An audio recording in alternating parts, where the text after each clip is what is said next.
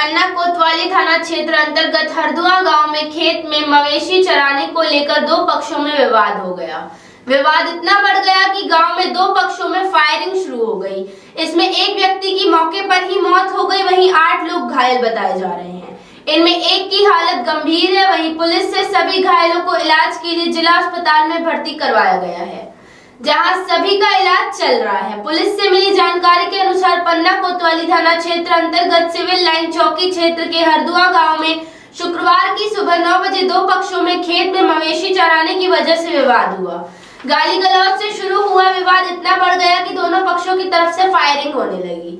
इस विवाद में पट्टी गाँव निवासी पूरन यादव की मौके पर ही मौत हो गई और अन्य आठ लोग घायल हो घायलों में मृत पूरन यादव का बेटा प्रताप सिंह यादव, अनु यादव, रंजीत यादव शामिल है। घायलों में दो बच्चे भी हैं आठ लोग घायल बताए पन्ना जिला अस्पताल में भारी संख्या में पुलिस बल मौजूद है। मामले को शांत कराने की कोशिश की जा रही है, पन्ना कोतवाली थाना प्रभारी अरुण सोनी ने बताया कि हरदुआ गाँव में गोली चलने से एक व्यक्ति की मौत हो गई है। आधा दर्जन लोग घायल हैं, जिन्हें इलाज के लिए जिला अस्पताल में भर्ती करवाया गया है। पूरे मामले की फ़िलहाल जाँच की जा रही है। जल्दी फायरिंग करने वाले युवक को गिरफ़्तार कर लिया जाएगा।